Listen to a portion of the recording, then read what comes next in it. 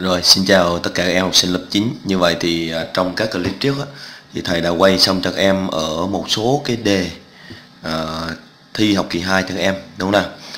Thì trong clip hôm nay thầy sẽ tiếp tục hướng dẫn cho các em à, một số đề thi à, tuyển sinh à, vào lớp 10 à, để chúng ta có cơ sở để ôn thôi. Còn à, nghe thầy nói này à, nghĩa là chúng ta ở đây á, chúng ta phải tự lực cánh sinh là hết sức nghĩa là các em đi ra ngoài tìm sách giáo khoa. Các em mua thầy một vài quyển sách tham khảo mà ở trong đó nó có rất là nhiều bộ đề tuyển sinh của những cái năm học trước để chúng ta giải. Sau đó chúng ta xem ở cái phần giải để chúng ta rút ra được cái bài học kinh nghiệm về cách trình bày và cách giải của từng cái dạng bài toán khác nhau. Được chưa? Còn ở đây á, thầy sẽ cố gắng làm càng nhiều đề càng tốt tùy vào cái cái thời gian rảnh của thầy lúc nào. Được chưa? Ở đây thầy đã in một sắp đề, một sắp tuyển sinh này. tí thầy quay cho em xem. Đây là cái đề số 1 này thầy sẽ quay để cho em à, tự làm trước, rồi các em sẽ xem cái cách trình bày và cái lời giải của của thầy các em nha. Cứ mỗi đề như này là có 5 câu các em. Được chưa? Đây, cái đề số 2 các em.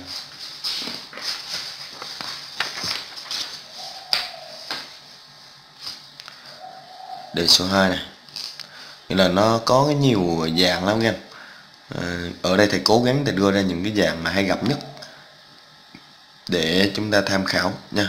Thầy nói nhắc lại là mang tính chất tham khảo. Tại vì ví dụ như ở thành phố Hồ Chí Minh thì cái đề của nó, cái dạng đề của nó là gồm cả 8 câu.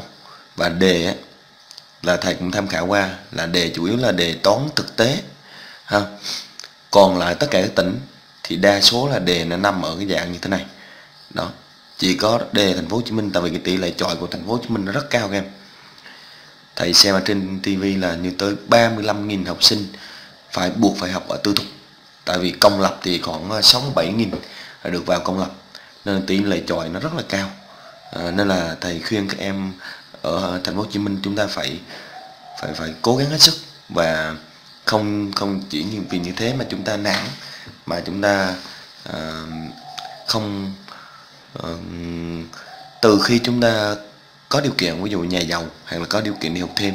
Còn ví dụ như ờ, đa số thì ờ, các em ví dụ đã nhà đã khó khăn rồi mà lại đi học vào trường tư nữa thì thầy nói các em tiền chắc chịu không nổi các em. Được chưa? Có đề 4 đề 5 bên đây nữa nhưng mà thôi để thầy ờ, sẽ quay cái đề số 1 để các em xem trước. À, rồi chúng ta cùng cho ý kiến là à, cái dạng như này đã đủ chúng ta thi chưa? Hay là phải khó hơn xíu nữa? Hay là như thế nào? Thì các em cứ comment. Rồi thầy rảnh rồi thầy vào thầy xem. À, rồi thầy sẽ trả lời lại các em. Được chưa? Ok chúng ta quay lại đề số 1 nha. Đề số 1 các em. Được chưa? Chúng ta sẽ đi sang câu số 1 toán thì thầy nói các em là cực kỳ nhiều dạng. Nhưng mà quanh quanh đi quẩn lại á thì gì? Tính giá trị biểu thức phương trình hệ phương trình đặc biệt là cái bài phương trình chứa tham số m này. Đó. Được chưa nào? À, và cái bài gì nữa? Về bài về đường tròn. Ha? Toán hình này đường tròn này chắc chắn thằng nghĩ là trăm trăm ra rồi. Đó. Với lại một số cái bài min max nghĩa là tìm giá trị lớn nhất tìm giá trị nhỏ nhất. Quan quan đi quan lại thì chỉ một số dạng thôi. Nhưng mà chúng ta phải phải ôn cho thật kỹ thật thật nhuyễn vào nè ta đi sang câu số 1 này câu A. Cho biết A, B bằng, đây ha, tính giá trị biểu thức B bằng là A cộng B trừ AB được chưa nào? Như vậy thì ở đây chúng ta sẽ, đầu tiên chúng ta sẽ tính, chúng ta đã có nè. Chúng ta tính a cộng b. Như vậy ở đây a của chúng ta là 2 cộng căn 2 của 3 cộng b này kèm theo cộng b nghĩa là cộng 2 trừ căn 2 của 3 như vậy thì căn 2 của 3 trừ căn 2 của 3 hết. 2 cộng 2 này là bằng 4 ta có a nhân b thì các em lấy 2 cộng căn 2 của 3 nhân ở đây là 2 trừ căn 2 của 3 thì đây chính là hàng đẳng thức số 3 ha? Hàng đẳng thức số 3 thì chúng ta viết trở thành là 4 nghĩa là hai bình phương thì bằng 4 Ê, 2 bình phương thì bằng 4 trừ cho căn 2 của 3 bình phương là bằng 3 ở đây sẽ bằng bằng 1 ok. Nên là chúng ta sẽ à, suy ra. Đa thức B nên là A cộng B trừ AB là bằng 4 trừ cho 1 thì bằng bằng 3 vậy cái giá trị ta nhận được đó chính là b bằng 3 ok được chưa? Ban đầu vào thì câu này rất là dễ để chúng ta kiếm điểm. Dần dần thì nó cũng sẽ tăng cái độ khó lên ha thầy thì thầy luôn luôn quan điểm là cố gắng để giúp cho các em hết sức thôi. Còn ờ, trong cái cái khả năng các em và trong có thể ha chứ ông ta cũng đừng đòi hỏi thầy nhiều quá. Ờ, thầy cũng chịu cũng không nổi. À, ok. Cái bài thứ hai là bài à, giải hệ phương trình. Ở đây thầy muốn triệt tiêu y tại vì ở đây là khác dấu đây cộng đây trừ. Chúng ta phải làm cho ở đây có số 2 thì thầy nhân cả hai vế của phương 1 phương trình 1 này với 2 các được chưa nào? Chúng ta tương đương. Thì nhân ở đây 2 thì ở đây nhân 2 đây nhân 2 và đây nhân 2 còn ở phương trình 2 này thì chúng ta giữ nguyên, được chưa? Trở thành là 6x cộng 2y bằng 10 ha. đây, x trừ 2y bằng âm 3 cứ để đó. Bây giờ chúng ta sẽ cộng. Chúng ta sẽ cộng đại số, ha? Cộng thì hai này trực tiêu. 6 cộng 1 đây là 7x 10 cộng cho âm 3 thì cũng bằng 7 chúng ta chọn một phương trình để chúng ta à, viết lại để tí nữa chúng ta sẽ đi tìm. Như vậy thầy chọn phương trình này thầy viết lại nha.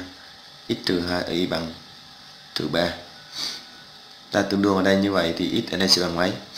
X này sẽ bằng 1 chúng ta thế chỗ đây luôn. 1 trừ 2y bằng âm 3 chúng ta tương đương x này sẽ bằng 1 à, bây giờ ở đây chúng ta sẽ chuyển với đồ dấu nhé trừ 2y cái đề đó trừ 3 để đấy chuyển số 1 qua trở thành trừ 1 như vậy, x này sẽ bằng 1 trừ 2y sẽ bằng là trừ 4 chứng tỏ là y nó bằng mấy em? X bằng 1 và y ta bằng bằng 2 tại vì âm 4 chia âm 2 thì bằng bằng 2 vậy, cái hệ phương trình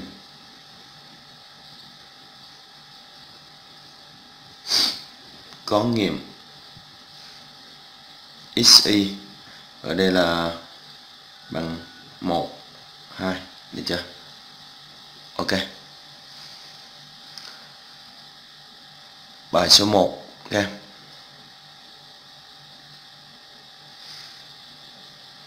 quay bài số 2 nha.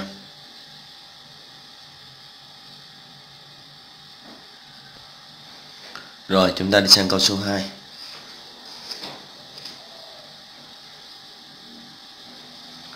cho biểu thức B, ha.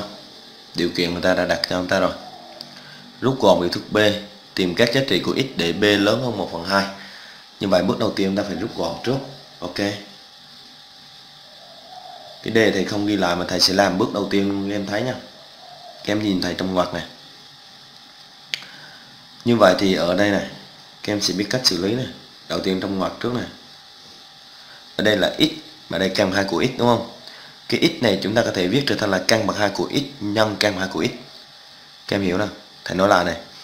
Cái x này chúng ta có thể viết trở thành là căn bậc 2 của x nhân căn bậc 2 của x ok. Thì khi đó thầy sẽ đặt căn bậc 2 của x ra chung. Thì cái anh này còn lại là căn bậc 2 của x trừ cho trừ cho 1 được chưa? Cộng ở đây là gì các em? 1 trên căn 2 của x cứ để đó. Ok, tí nữa ta quy đồng sau. Chia thì thầy trở thành nhân nghịch đảo, trở thành x trừ 2 căn 2 của x. Cộng 1 chia căn 2 của x ở để đây. Các em hiểu chưa nào? B bằng tiếp nè. Bây giờ chúng ta sẽ tiến hành quy đồng. Như vậy mẫu chung của chúng ta ở đây chắc chắn là căn 2 của x. Nên căn 2 của x trừ 1 thì lấy này chia đây thì ngay đây sẽ bằng 1 này. Căn bậc 2 của x nhân căn 2 của x trừ 1 thì hai này chia hết. Nó còn là căn 2 của x nhân 1 đây. Cộng căn 2 của x để đây. Nhân này, các em thấy cái này đã chính là gì? Đây chính là hàng đẳng thức. Tại vì cái x này chúng ta có thể viết trở thành là căn bậc 2 của x tất cả bình phương, một này bình phương.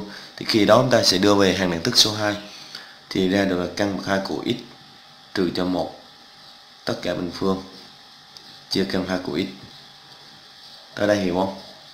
Chắc hiểu phải không? Bây giờ thầy sẽ bỏ ngoặc ra.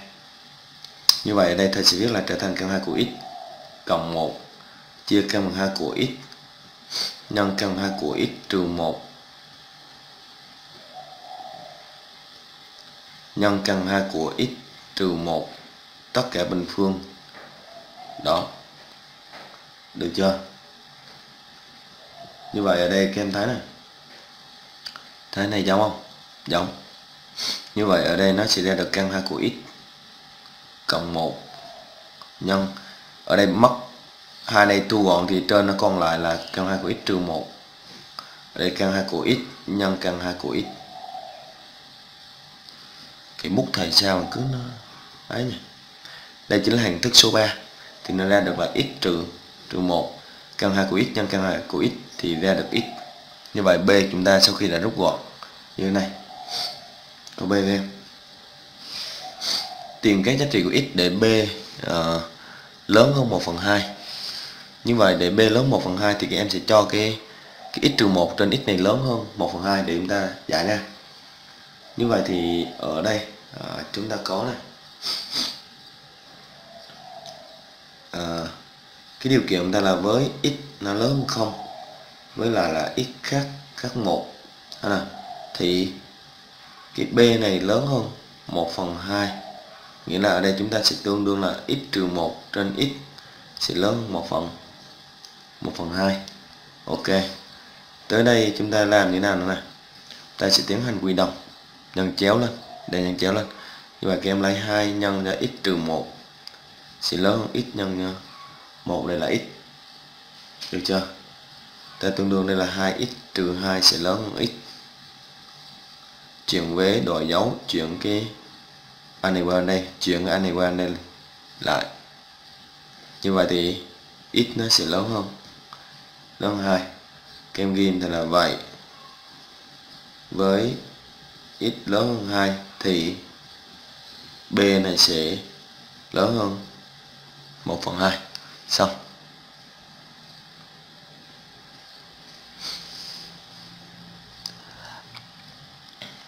Được chưa? Hiểu đúng không?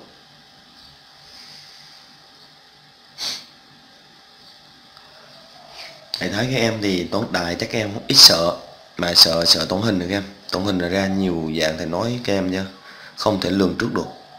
Biết là đường tròn như vậy nhưng mà nó rất là khó các em. Rất khó. À, ta đi sang bài số 3 nhé rồi ta có bài số 3 cho phương trình. Trong này có m tham số là cái dạng này người ta hay ra lắm các em nhé nhưng mà tùy theo cái câu uh, mà chúng ta phải phải biết. Giải phương trình trên khi m bằng 6 quá dễ ha. Như vậy thì với m bằng 6 ta có phương trình. Đây là kẹp thế vào chỗ nào có m ta thế số 6 vào chỗ này. Như vậy x bình phương trừ 5x cộng 6 bằng 0 ha. thì uh, cái này ạ uh, Ờ, chúng ta sẽ tính giùm thầy ờ, delta chứ không phải delta phẩy. Một số bạn cứ comment hỏi thầy thầy ơi, khi nào tính delta khi nào tính delta phẩy? Thì qua clip này thầy trả lời luôn là khi chúng ta tính delta phẩy, khi cái hệ số b này này, nó chia hết cho hai. Nghĩa là số chẵn đó em 2 4 6 8 gì đó. Còn ở đây là hệ số lẻ là số 5 số 3 số 7 số 1 thì chúng ta bắt buộc phải tính delta thì không được tính delta phẩy. Nhớ chưa? Như vậy thì delta của chúng ta ở đây sẽ bằng âm 5 bình phương trừ cho 4 nhân A nhân C. Như vậy bằng 25 trừ 24 sẽ bằng 1 lớn 0. suy ra căn 2 của delta sẽ bằng à, căn 2 của 1 thì bằng bằng 1 có được chưa nào? Như vậy chúng ta có đây là x1 của chúng ta là trừ cho trừ 5 ở đây cộng cho căn 2 delta chia cho 2a là bằng à, 5 cộng 1 là bằng 6 chia 2 thì bằng bằng 3 x2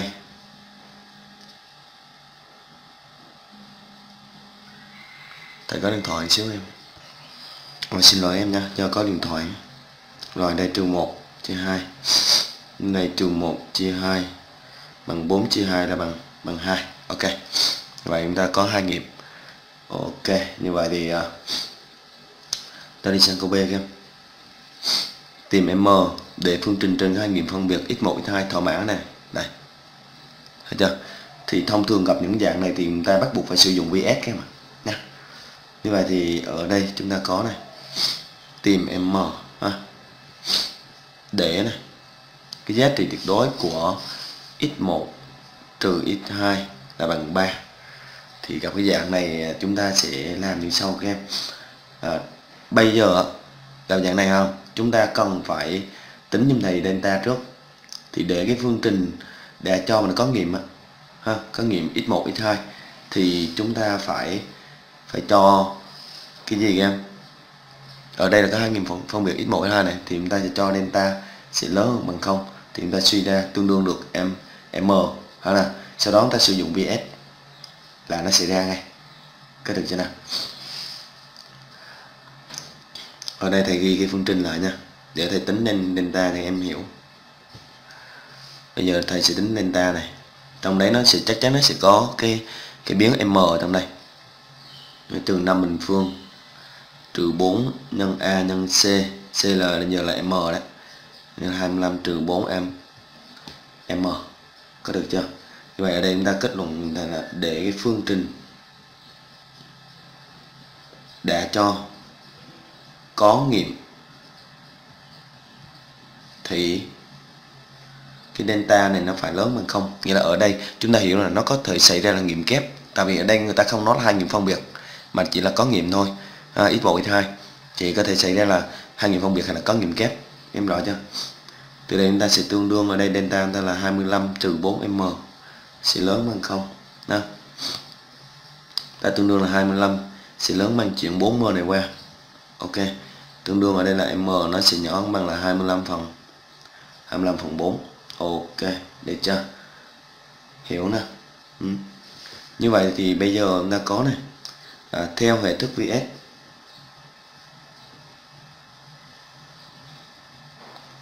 ta có như vậy thì chúng ta dựa vào đây để chúng ta viết VS ra. Phương trình này. Như vậy chúng ta có là gì? X1 cộng x2 à, theo VS á, thì nó sẽ bằng là trừ B trên A. Nghĩa là bằng trừ cho trừ 5 chia cho 1 thì sẽ bằng 5 ở đây. Còn x1 x2 thì theo vs là bằng C trên A. Nghĩa là bằng M chia cho 1 thì bằng M. M. Các em hiểu không bây giờ mặt khác chúng ta theo cái đề bài này. Mặt khác. Theo cái cái đề bài.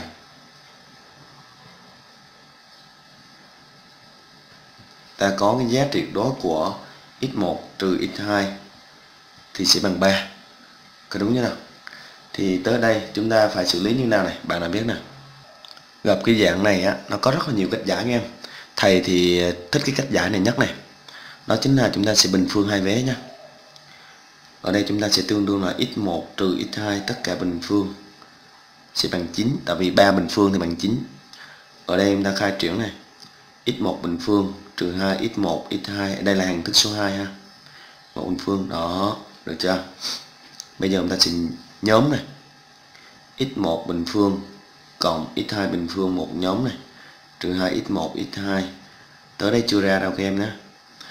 Ở đây thầy sẽ thêm bớt để nó ra được hàng thức, để nó ra được cái dạng tổng này như vậy đây có x1 bình phương cộng x2 bình phương thì thầy sẽ thêm này. X1 bình phương, ở đây thầy sẽ thêm trừ 2 x1 thầy nói thêm cộng 2 ở đây thầy thêm là 2 x1 x2 cộng x1 x2 bình phương đây, một nhóm. Thầy thêm đây, thầy sẽ bớt ra. Trừ 2 x1 x2 bản thân anh đây thầy sẽ viết lại một lần nữa ở đây. Thầy sẽ bằng 9 nha. Thầy nói lại này. Thầy thêm ở đây thì thầy bớt ở đây này. Thầy thêm ở đây, thầy bớt đây. Còn bản thân cái cái biểu thức này là thầy viết ở dưới đây này, ha. Như vậy hàng thức thứ nhất ra được x1 cộng x2 bình phương, trừ 2 trừ 2 trở thành là trừ 4 x1 x2 sẽ bằng 9 bây giờ chúng ta sẽ thế. Đây này, thế cái nào? Vs này. X1 cộng x2 bằng 5 x1 x2 nhân x1 nhân x2 là m. Ở đây chúng ta thế vào. Như vậy đây là 5 bình phương. Trừ 4m sẽ bằng 9 này tương đương ở đây là 25 trừ 4m bằng 9 này, tương đương tiếp. 25 trừ 9 này, sẽ 1 bằng 4m chuyển với đồ dấu ha? Tương đương ở đây là bằng 16 Có đúng nè 4m từ đây ta suy ra m sẽ bằng bằng 4 được chưa? Đó, ok. Như vậy thì ở đây m chúng ta nhỏ hơn bằng là 25 phần 4 chứng tỏ m bằng 4 này là thỏa mãn điều kiện này.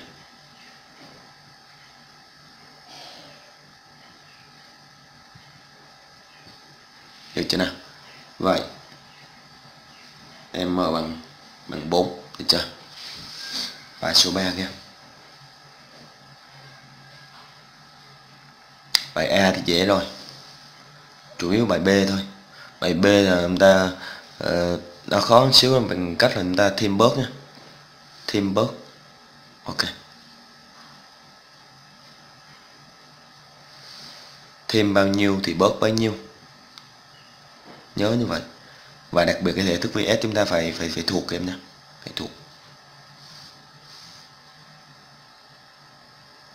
Rồi chưa? À. rồi, clip hôm nay tới đây là kết thúc em. Còn à, trong clip sau á, thì à, thầy sẽ hướng dẫn cho em bắt đầu từ cái câu số 4 và câu số 5 được chưa? Chúng ta làm trước nha. Ok, cảm ơn em. Đã theo dõi và quan tâm kênh của thầy à, chúc cho các em chuẩn bị chuẩn bị tinh thần thật tốt để chúng ta bước vào kỳ thi tuyển sinh. Đây chính là gọi là cái cái bước ngoặt cuộc đời của các em. Nó chỉ sau lớp 12 thôi các em. Nghĩa là sau lớp 12 là thi tốt nghiệp đó. thì nên chúng ta vào được những cái trường ờ, công lập mà tốt chất lượng thì cái tương lai ta rất là sáng ngời. Mà chúng ta vào những cái trường mà tư thục không thầy không chê tư thục dở nha ờ, trường tư thục có nhiều trường rất là là tốt em nhưng mà do cái điều kiện kinh tế thôi. Nên là chúng ta phải phải xem gia đình mình ở cái vị thế như nào. À, là chúng ta phải thương bố mẹ nha. Ok. Chúc cho em uh, học tốt nha. Bye bye. Rồi xin chào tất cả em sinh lớp 9 nhưng mà thì trong clip trước thầy đã quay xong các em bài 1, 2, 3 đúng không nào? Trong clip hôm nay thầy tiếp tục hướng dẫn cho các em ở cái bài số 4 và bài số 5 Được chưa nào? Các em cứ comment thoải mái. Được thì em à, nói là được. Còn không được thì cứ mạnh dạng nó không được. Tính thầy thì rất là chân tình, thẳng thật. Cứ thế mà sống thôi em. Còn à, nói cho đây kênh của thầy hiện tại bây giờ tới gần ba nghìn rưỡi rồi. 350 nhá thầy nói 350 à, nghìn sub rồi. Nên là không thể mà chịu được hết tất cả được các em ạ. Cũng phải có người này người nọ cũng có người like có người dislike vân vân. Nhưng thầy không quan tâm chuyện đó. Chủ yếu là quan trọng chúng ta học chúng ta có hiểu hay không? Chúng ta làm được bài hay không? Và chúng ta có thể tự trình bày được hay không? Đó mới là quan trọng. Chứ còn nhiều lúc cái điểm số đúng quan trọng thật các em ạ. Nhưng cái thật nhất đó chính là bản chất con người của các em ạ. Ha. Chúng ta đi sang bài số 4 em. Cho cái đường tròn tâm O đường kính AB ha. vỉa dây cung CD vuông góc với AB tại Y. Y nằm giữa A và O. Để để thì đọc đề rồi vẽ hình cho em nhé. Lấy điểm E trên cung nhỏ BC E khác B và C. AE cắt CD tại F. Ok, chúng ta chứng minh. Bây giờ để chứng minh cái gì thì để thầy vẽ cái đường tròn ra cái này nha. Đây cầm ba điện thoại thầy này vẫn Doraemon nhưng mà Doraemon này bị mất cái đuôi rồi nha.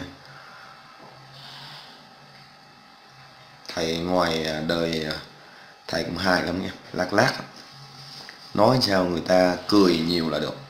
Đời sống nó phải cười em đừng bao giờ méo mó, nhăn nhó. Giống như con khỉ ăn ớt thì tuổi thọ nó giảm, mà nếp nhăn nó xuất hiện nhiều. Nên ở đời không có việc gì mà cứ phải buồn. Thi thì ừ chắc chắn là mình phải cố gắng hết sức của mình. Còn khi đạt hay không đạt nữa thì tùy hơn xui. Hơn xui nữa em nhiều người ờ, nói học tài thi phần.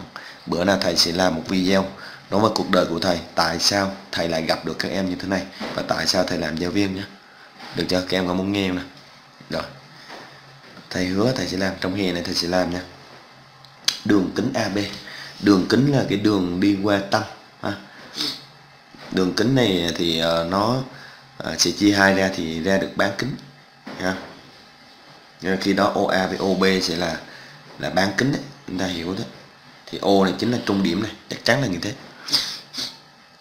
Vì cái dây cung CD à, vuông góc với AB tại Y Y này nằm giữa A và O nghĩa là cái cung nó nằm nó thay đổi đây này đây nó có thể chạy đây nhưng mà đừng có trùng với A và đừng trùng với O và đừng trùng với A là được. Ý như người ta như thế. Ok. Và chúng ta người ta không nói gì chúng ta tránh vỉa ở trung điểm nha ở trường hợp đặc biệt là trung điểm của AO đây em vuông góc. Như vậy, đây chính là cái cung CD ở đây là vuông góc. Ở đây. Được chưa? Nhìn ở đây. Ở đây là y nha. Lấy điểm E trên cung nhỏ BC đây. Cung nhỏ cung lớn thì chúng ta học chúng ta biết rồi. Đây cung nhỏ này còn chạy từ đây quăng qua đây gọi là cung lớn. Còn ở đây còn gọi là cung nhỏ. Lên lớp 10 sẽ học lại cái này các em nhé. Vẫn học lại cung nhỏ cung lớn thôi đây. Tại vì năm cái năm nay thầy đã quay xong lớp 10 rồi. Nên các em là những người rất sướng. Nghĩa là gì? Chúng ta lên lớp 10 đã có sẵn chương trình của thầy đã dạy xong trong đó rồi. Năm nay thầy mình bắt đầu quay cho các anh chị 2K3 là lớp 11 nha. Nên các em đi sau một năm này là rất là, là ok đấy rồi lấy điểm E bất kỳ. Rồi thầy sẽ lấy điểm E ở đây. AE cách CD tại F anh em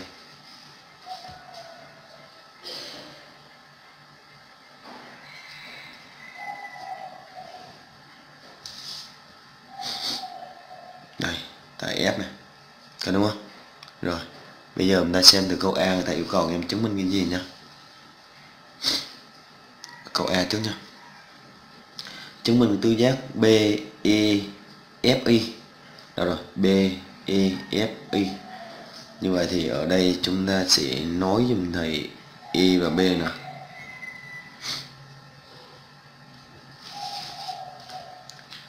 Thấy tứ giác chưa? B E F, I nội tiếp đường tròn. Được chưa? Cái câu này người ta hay ra lắm nha. Câu rất hay ra. Là các em nhìn trên hình này. Các em nhìn, nhìn thầy trên hình. Học hình là cứ phải nhìn trên hình các em ạ. Như vậy thì trong cái tứ giác B E F nó có cái gì này? Chúng ta có cái góc này này các em này. B F là góc này bằng bao nhiêu độ? Bằng 90 độ theo giả thiết có đúng chưa? Và đồng thời chúng ta có cái góc nào Ờ, uh, góc nào mà trắng nửa đường tròn nè. Mà nó, nó là góc nội tiếp nè. Bạn nào biết. Nhìn xem bên nào. Đó chính là cái góc B E F. Nó sẽ bằng là B E A. Đây này. Góc nội tiếp này em. Nó trắng nửa đường tròn. Ha ok. Như vậy thì cái góc này cũng là góc gì? Góc vuông được em. Đó. Nên ta suy ra cái tứ giác BEFI nội tiếp đường tròn và đường kính ở đây đó chính là gì? B gì? BF hiểu không? Như vậy thì ở đây chúng ta có này. Cái tứ giác BEFI có, ở đây chúng ta có góc BEF sẽ bằng 90 độ là theo giả thiết được chưa? Mặt khác mà chúng ta có cái góc BEF dạ, nói chung là cái góc Y này này BEF thì nó cũng bằng BEA không? Nói chung là góc Y này bằng góc BEA và bằng 90 độ. Ở đây chúng ta có thể mở ngoặc ra. Ở đây là góc nội tiếp.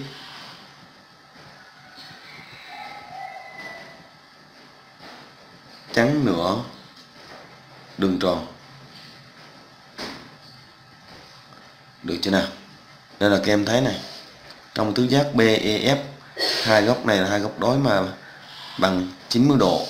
Nên tổng số đo hai này là cộng lại bằng 180 độ, nên là cái tứ giác này sẽ là tứ giác nội nội tiếp được chưa nào? Nên chúng ta suy ra cái tứ giác BEFI nội tiếp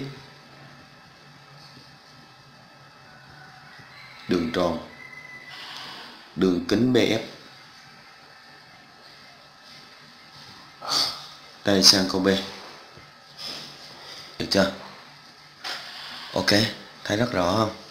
Hình này rồi câu B tiếp em ở đây người ta yêu cầu các em chứng minh cái gì nữa đây? Người ta yêu cầu các em chứng minh là AI AE nhân AF thì bằng là AC bình phương. Đây. Ta nói AC là có được chưa nào? Các em nhìn hình thầy hướng dẫn này. Rồi ta nhìn trên hình nè. Các em uh, nhìn thật kỹ nhé. Câu này hơi khó một xíu. Như vậy thì để chứng minh được AE nhân AF bằng AC các em nói với thầy à, uh, CE ở đây nha. Các em nhìn nè. Như vậy thì nãy theo giả thiết á, là người ta có là AB vuông góc với CD tại Y. Có đúng không? Tại Y. Thì ở đây chúng ta sẽ suy ra được điều gì các em? À, chúng ta sẽ suy ra được AC thì bằng với với AD có được chưa nào? AC thì bằng AD như vậy thì ở đây các em thấy này cái góc này ACF góc này này. Thấy nó trắng cùng AD em có được chưa nào? Trắng cùng AD à, và đồng thời góc này. A hồi nãy là ACF đúng không? AIC góc này này. Nó trắng cái cung AC mà hai cung này như nào với nhau? Bằng nhau. Nên là hai góc này sẽ bằng nhau. Các em hiểu chưa nào? Khi mà hai góc này bằng nhau rồi thì chúng ta sẽ xét hai tam giác này dùm thầy này. Đó chính là tam giác ACF và tam giác AIC thứ nhất là nó có góc A này là góc chung được chưa? Và đồng thời cái góc ACF sẽ bằng cái góc AIC bị chứng minh trên. Nên hai tam giác này nó sẽ đồng dạng. Mà khi đồng dạng thì chúng ta sẽ lập được cặp tỷ lệ. Có cặp tỷ lệ thì nó sẽ ra được cái cái yêu cầu người ta ở đây. Hiểu nè? Rồi. Như vậy thì ở đây chúng ta có này vị AB vuông góc với CD nên ở đây chúng ta ghi thầy là cái cung AC sẽ bằng với cung A. AD từ đây chúng ta khi hai cung này bằng nhau nên ta, ta suy ra cái góc ờ, uh, ACF sẽ bằng cái góc AE ID uh, ờ, AIC e, ha. Ở đây chúng ta có thể một đơn ra là vì góc ACF là trắng cái cung gì? Trắng cung AD Ờ, và góc AEC thì nó lại trắng cái cung gì các em? Trắng cung A AC mà hai cung này bằng nhau nên hai góc này bằng nhau. Có được chưa nào? Đó ok. Bây giờ chúng ta sẽ uh, xét cái tam giác ACF và cái tam giác AEC không? Ờ, có này. Thứ nhất là có góc A này là là góc chung góc A góc chung ok. Và đồng thời cái góc ACF sẽ bằng góc AIC chứng minh trên. Nên chúng ta sẽ à, suy ra cái tam giác ACF sẽ đồng dạng với tam giác AIC theo trường hợp là góc góc ok. Từ đây chúng ta sẽ viết cái này này AC này tỷ lệ này. AC trên AF à thành loại AE sẽ bằng AF này. Trên AC ta nhân chéo lên là ok thôi, ha. tôi lấy AC nhân cho AC sẽ bằng AF nhân AE ra cho nào? Như vậy đây ra AC bình phương sẽ bằng AF nhân cho A AE đều phải chứng minh. Xong. Được chưa nào? Câu B kia giải như vậy có hiểu nha. Biết rằng môn hình nó khó, nhưng mà trong cái đề thi học kỳ hoặc là đề tuyển sinh chắc chắn 100 trăm là có 1 đến 2 bài em. Nên chúng ta phải cố gắng hết sức, nên chúng ta phải rèn giũa cái môn toán hình thật nhiều. Ta phải học thuộc các cái định lý tính chất này nọ để chúng ta có thể làm được. Đây sang câu ờ, C. Khi Y chạy trên cung nhỏ BC đây, nghĩa là nó chạy trên cung nhỏ này thì tâm đường tròn ngoại tiếp tam giác A, à, CEF e, này. Thấy chưa nào? Luôn thuộc một đường thẳng cố định nghĩa là em bắt buộc phải chứng minh cái điều này. Nghĩa là người ta yêu cầu nghĩa là chứng minh khi E này này. Nó chạy trên cung nhỏ này. Thì cái tâm đường tròn ngoại tiếp của cái tam giác này nó luôn thuộc một đường thẳng cố định. Có được chưa nào? Như vậy này nhìn nhìn đến đây thầy hướng dẫn này theo câu B á, theo câu B thì các em đã chứng minh được cái hai góc này bằng nhau. Như là góc ACF sẽ bằng góc AEC ha? Như là góc nội tiếp chắn nửa đường tròn và hai nửa đường tròn này bằng nhau. Nên từ đó chúng ta sẽ suy ra được điều gì các em? Ừ. nên ta suy ra là cái AC này như thế nào so với lại gì? CB à, AC sẽ vuông góc với CB có đúng không? Sẽ vuông góc CB đó. Ok. Cái hiểu nè rồi, chúng ta sẽ trình bày ở câu C ở đây nhá. Câu C này. Nhưng mà thì ở đây chúng ta ghi này là theo câu B. Ta có này. Ở cái góc ACF sẽ bằng góc AEC cứ như nào? Nên chỗ đây chúng ta suy ra nó tiếp tuyến trước nha các em nha. Suy ra AC là tiếp tuyến của cái ờ, đường tròn ngoại tiếp. Tam giác à, CEF ta ký hiệu là đây là một. Mặt khác ta có góc ACB thì bằng bao nhiêu độ? 90 độ. Ở đây các em ghi đây là góc nội tiếp. Chắn nửa đường tròn, ha.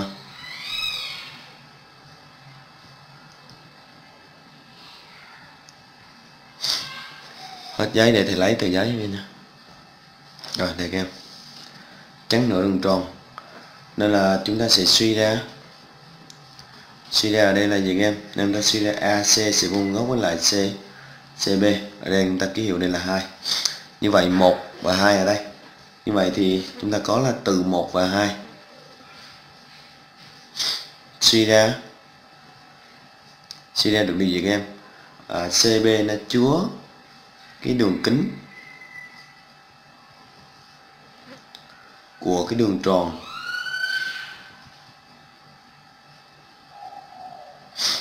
Ngồi tiếp. Cái tam giác CEF được chưa nào? Mà cái CB này như nào em? À cố định. Cố định nên tâm của cái đường tròn. Ngoài tiếp. Tam giác CEF thuộc thuộc đâu em? Thuộc CB thuộc CB cố định. Khi Y nó thay đổi trên cái cung nhỏ BC được chưa?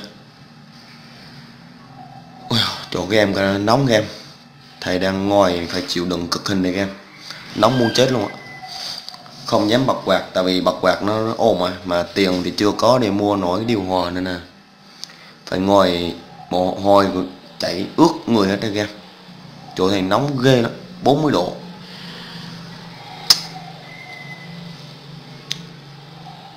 Nên là các em ờ, hiểu được cái ờ, nó cực khổ của thầy.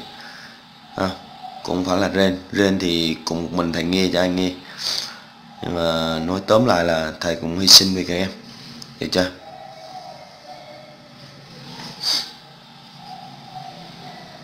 Là game câu C. Rồi, chúng ta sẽ ờ, đi sang cái bài số 5 nhé. Rồi, ta đi sang bài số 5 các em nhé. Bài này hơi khó một xíu. Cho hai số vuông AB thỏa mãn, ở đây em ta nhớ là A cộng B nhỏ bằng 2 căn 2 cộng 2 tìm giá trị nhỏ nhất của biểu thức B bằng là 1 phần A cộng 1 phần B. Được chưa nào? Như vậy thì à, để tìm được cái à, giá trị nhỏ nhất của biểu thức B này thì chúng ta phải làm như sau em dạ này. Đối bài này chúng ta phải à, cái bài này nó có hai cách giải em cách giải một, chuẩn bị thay giải đây. Cách hai là chúng ta áp dụng bất định thức Cauchy đối với hai số này các em nhé. Được chưa nào? Như vậy thì ở đây chúng ta có này. Nên ta căn cứ vào chỗ này này như vậy thì ở đây chúng ta có là uh, a trừ b tất cả bình phương thì như nào? Sai số không này à, nó sẽ lớn bằng không. Nên chúng ta tương đương ở đây chúng ta khai triển ra trở thành a bình phương trừ 2ab cộng b bình phương sẽ lớn bằng không. Có đúng chưa? Tương đương tiếp. Như vậy ở đây chúng ta thầy sẽ thêm bớt uh, a bình phương cộng 2ab nghĩa thầy đang thêm vào 2ab này cộng b bình phương ha. như vậy trừ 2ab thêm vào thì trừ ra còn bản thân giống như cái bài à, hệ thức VS các em ở trong clip trước á, các em hiểu nè. như vậy ở đây chúng ta viết ra trở thành em b thực hành bình phương à, hai này cộng lại là bằng âm 4 chuyển qua đây là trở thành là 4ab chuyển qua đây luôn. Có được chưa nào? Tới đây chắc cái này chúng ta hiểu rồi đúng không? Thì từ đây chúng ta sẽ tương đương này. AB bình phương thì ở đây thầy viết trở thành là AB nhân cho A cộng B. Sẽ lớn bằng là 4 nhân AB ở đây. Ok. Như vậy thì ở đây chúng ta sẽ tương đương là A cộng B. Thầy sẽ chia ở đây cho AB sẽ lớn bằng 4 ở đây A cộng B xuống dưới đây. Được chưa? Rồi thế nào? Như vậy chúng ta tương đương tiếp. Như vậy ở đây chúng ta sẽ tách ra. Như vậy A trên A phần AB cộng B trên phần AB sẽ lớn hơn bằng là gì? 4 trên A cộng 4 trên A cộng B. Tương đương tiếp. Như vậy thì ở đây chúng ta có là a a đây trở thành là 1 phần B ở đây là 1 phần A. Như vậy thầy chỉ viết trở thành 1 phần A cộng 1 phần B, sẽ là lớn hơn bằng là 4 A cộng cộng B. Có được chưa nào? Như vậy 1 cộng A cộng 1 cộng B 1 phần B đây, thì chính là bằng B này. Như vậy thầy sẽ thế ở đây là B. Nó sẽ lớn hơn hoặc bằng là 4 trên cho A cộng cộng B. Mà A cộng B của chúng ta là người ta cho bằng là 2 căn 2 của 2 thành nói nhỏ hơn bằng nhé. Nhỏ hơn bằng.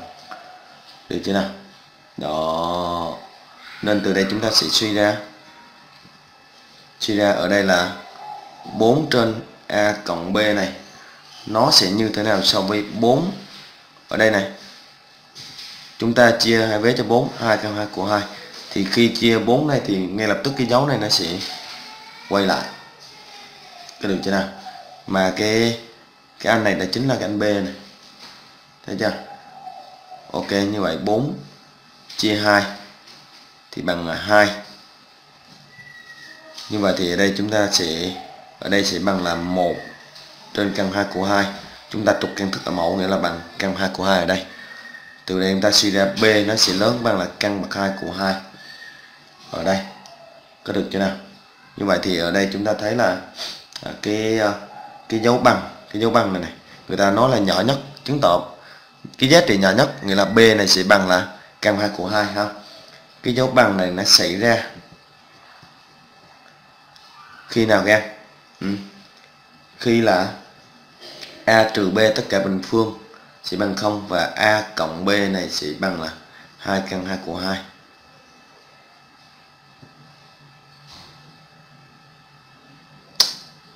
sao cái bút là kỳ thì tương đương ở đây là a cộng à, thì loại a bằng b. Xin gọi cái bút sao bực mình ghê. Ừ, căn hai của hai. Ta kết luận thể đây là vậy. Cái giá trị nhỏ nhất nghĩa là min ha. Min b này sẽ bằng căn hai của hai. Xong. Bài số 5 em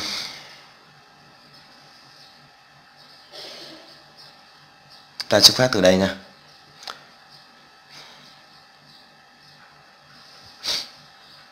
Ta biến đổi một cách khéo léo là nó sẽ ra.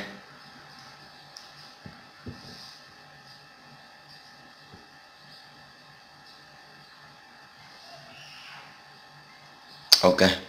Còn à, đối với bất định thức oxy này, thầy giảm một xíu cách hai này.